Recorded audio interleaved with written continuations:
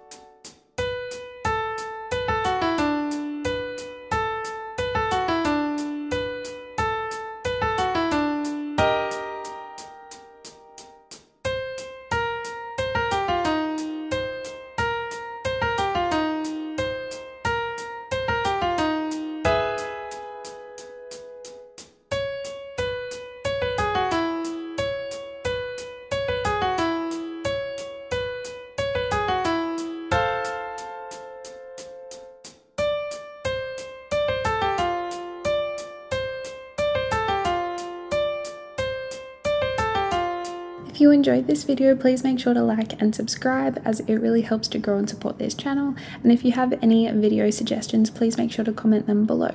Thank you so much. Bye.